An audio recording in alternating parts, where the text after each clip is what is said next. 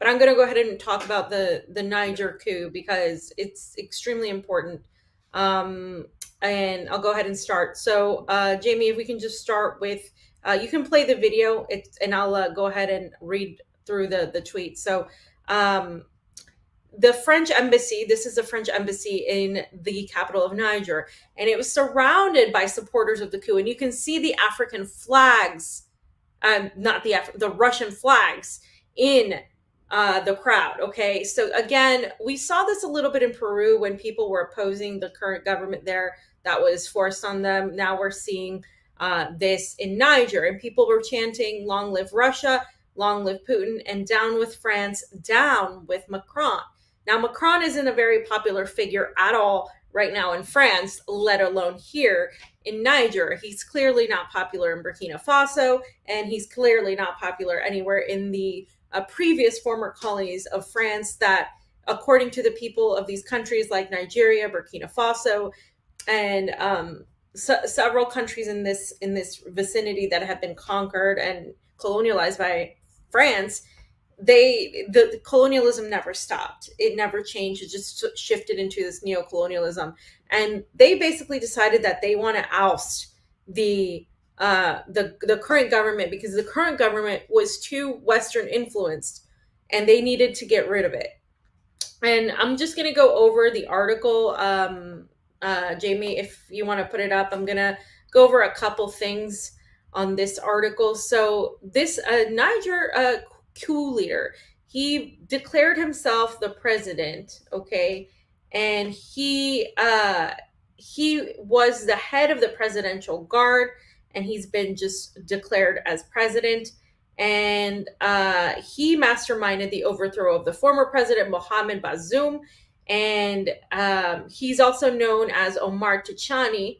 Um, and he appeared on this state TV channel, calling himself the president of the newly formed military council the National Council for the Homeland, and he said this coup was to protect national security. And um, the former president was detained early on Wednesday by members of his security detail, with uh, top military officials saying he was removed from power and that all the institutions were suspended. So clearly, the military was involved in this. This was a organized, well organized, and executed coup. And so Macron and the EU are are having like a breakdown. Macron had described this guy as a courageous leader who is making reforms and investments that the country needed. Um, and Paris, of course, is going to support regional powers in imposing sanctions on these coup plotters. And um, so that that is essentially it. And um, he the, the he criticized uh, the former president was critical of the cooperation between Mali and Burkina Faso with with certain of these juntas that were trying to overthrow the government. This is important to note because, as we just noted, um, Burkina Faso is a very has a very anti-West president, a president that that really wants to break the chains, eh, literally, of any sort of Western hegemony, any sort of Western influence, and they want to get rid of these foreign interventionists. And so the European Union, the United States has denounced this coup. Russia, it's an interesting thing with Russia because Russia pretty much follows the UN uh, diplomatic charter. They basically do things like very properly. So while the while Sergei Lavrov has said we don't, you know, support a non-democratic way of taking over the government. Um, in other in other aspects, uh, Russia is clearly showing support in a very diplomatic way for the nations that are trying to oust um, these, you know, foreign interventions, French, United States, and so on and so forth, NATO uh, states, NATO countries, and so on one end the United States is is uh, able to say, oh, you know, even Russia is is calling this, uh, you know, is denouncing this, but Russia isn't really denouncing it. They, in a way, they they say, oh, well, we're you know, we're not we're not for this. We're not for this happening in this way. We want to respect these institutions and blah blah blah. Because uh, unlike popular belief, Russia is a very diplomatic uh, country. This is why, you know, in spite of everything Ukraine and the United States has done, they have at every turn tried to seek peace and negotiations, almost to the anger of several people within the Russian uh, population that want more of a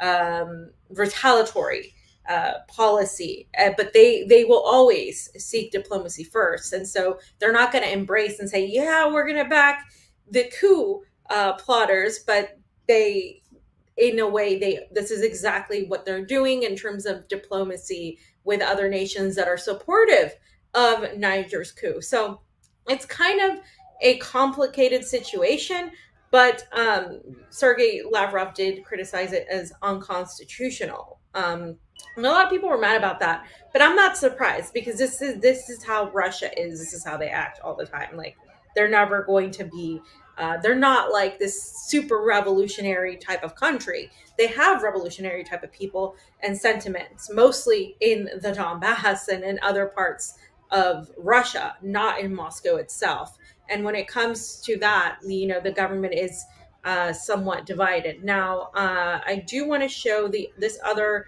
update on basically what happened. You can show that while I talk.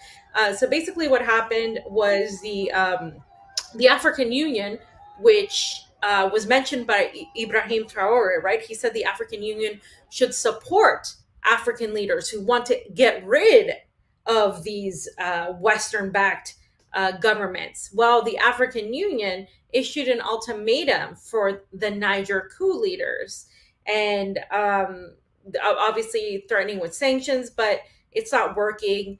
They're not going to relinquish power. And um, this was a statement by the African Union alarming, uh, they condemned the alarming resurgence of coups. And the bloc called for on the soldiers who ousted Bazoum to return immediately and unconditionally to their barracks and restore constitutional authority within a maximum of 15 days.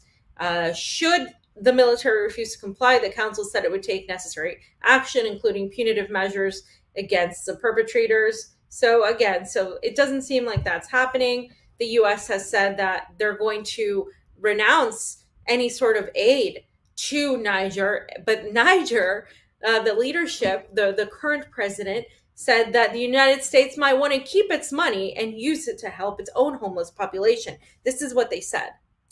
Uh, they don't want it, they don't need it. So, what we're seeing here perhaps is um, the beginning of I wouldn't say it's the beginning because Burkina Faso pretty started much started it, but this is now just like I guess a continuation of this ousting of foreign leadership of intervention. And I think what's most important about this is the timing. It's happening right now on the eve, of course, during the whole Russia Africa summit um, when it, it was taking place. Um, and then it's also happening uh, at a time when we're talking about multipolarity, Pan Africanism, when we see Libya, Burkina Faso, Mali, and other parts of, of Africa basically try to stop any sort of other foreign intervention. This is uh, the timing is perfect to do it, especially when we're talking about what Russia is doing. And this is what I said a long time ago. I said what Russia is doing in fighting NATO, because we know this is a proxy war of Russia versus NATO, has pretty much unleashed a domino effect when it comes to Arab countries, when it comes to countries in Africa, when it comes to countries in Latin America. And so what we're seeing is this trend of, it, I mean, it's a good trend, but it is in a way a trend where countries are seeing what Russia was able to do and seeing what China is doing and saying, and what BRICS is doing and they want to join BRICS. They want to find ways of divesting from the dollar and transferring into a new monetary system away from SWIFT. And they want a, a way to have their own economies built up and to cooperate with everybody, especially their neighbors in Africa, whether in Latin America. And this is why this is a real thing that's happening now in terms of, you know, how fast it's going to happen. It's I don't think we're going to see the dollar sink tomorrow. I think this is going to take a long time. But what what is happening in Africa right now is an opportunity for Africa to really once and for all free itself. And are we going to see retaliation from the United States? Absolutely. We're going to see them do everything they can to stop this. But this coup is essentially a strong statement of of what that is. And another important point of this whole entire uh, coup in Niger is what it's going to do to France. Now, France, of course, post pandemic, right, and what they did there, and then the billions and millions of dollars going to Ukraine has not helped. Europe in general, especially Germany, but also France. We've seen the protests for months, uh, you know, against NATO, against the uh, money being given to Ukraine. We've seen that uh, Macron is not a popular figure. But now add this into the the the recipe, and then you get disaster because this is what it is. Now, this is a tweet from Going Underground. If you can put that one up. Um, and this is what they said, and this is accurate. Niger fights back against French domination. The new military regime has signed a decree banning the export of gold and uranium to France. The toppled government, which was a close ally of France, has given permission to strike Niger to free its toppled president. One in three light bulbs in France are powered by uranium from Niger and provided the EU with 25% of its uranium, while France and the EU dominated Niger with neo-colonial exploitation. 80% of Niger citizens have no access to electricity, and 80% live on less than $2 a day. Will France says militarily attack Niger to restore neo-colonial domination on one of the poorest countries in the world? Um, I wouldn't put it past them, but that's what I want to point out here. Okay, and this is what it says in French: "Long live uh, Niger, live long live uh, Russia." Um, and so this is this is what I want to point out here. This is the whole sentiment that was echoed in the Russia Africa summit. Why are African countries that export all of this all of these natural resources and have all of this wealth via their natural resources literally don't see any money of it. And not only that, in Niger's case, 80% of their population doesn't have electricity, but they're literally responsible for maintaining electricity in the French population.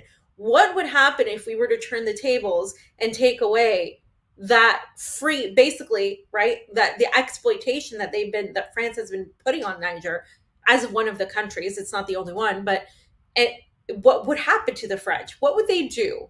Perhaps the French need to find out, need to really understand this here. And and you know, they're already angry at Macron. I don't think this is going to help. And I think, you know, France is obviously well versed in revolution, but I think what we're seeing here too is a revolution in Africa. And a revolution doesn't come necessarily in the form that we all have romanticized um on you know with like just chopping heads off and everything else it, it's coming in the forms of just literally breaking away the last remaining chains that these European countries have on Africa. And again, Kevork also uh, reiterated these same points, right? Like 80% of the people in Niger don't have electricity, but somehow they power the French. And and so these pro-Russian coup, coup, coup leaders, as you can see from the Russian flags, uh, they decided they were going to stop the export. This is how you this is how you make change they know that the power lies in them because they have these resources and they're using those this, stopping those resources to to really just say okay you're not getting this for free. You're not going to continue exploiting exploiting us. You're not going to continue doing this. And so france threatened them of course the united states threatened them. And he said he took it this way. He said count to 10 until isis miraculously appears in niger. Because if you follow the playbook there the united states and nato need to have something to vilify these people for, right? Oh, these are just crazy, destructive, radical, you know, factions. Oh, we're going to tie them to ISIS. This is what always happens. It's what it's not surprising. But the reality is, these are simply people who are sick and tired of being exploited by the West, by the United States, and NATO. And they didn't go and fight freedom for their countries to then be colonized again via neocolonialism by Europe and slaving away literally. So French, the French could have electricity, but so their own people couldn't have electricity. I don't see anything wrong with them doing that. And if that's what the majority of people of Niger want to do, then by all means they sh- they should do it. but of course, the United States isn't going to just simply allow that uh, to happen. And so, I it, what's going on in Niger is extremely important. You should continue to watch it because it's it's really I, I think it's contagious what's been happening, what Burkina Faso started, and what others have been doing. Um, but it, it's essential. Um, essentially, I think we're going to be seeing more of this because a lot of people in Africa are sick and tired of their continent being the poorest continent when they have the most resources. Um, and the last one I want to read, uh, Jamie, is the last tweet on this section uh, by D and D Politics, um, and because the other one we already pretty much said. So the uh, the the government of Niger says France is planning uh, strikes to free Bazoum. The Niger military junta that seized power last week and ousted President Mohamed Bazoum said on Monday that the toppled government had authorized France to carry out strikes at the presidency to try and free Bazoum. So why would why would a government of Niger authorize France to carry out strikes? So I guess you're not a free government then, which is why these people are trying to regain uh, control of their government, right? The military regime, which has confined Bazoum to the presidential palace since Wednesday, has previously warned against foreign attempts to extract him, saying it would result in bloodshed and chaos.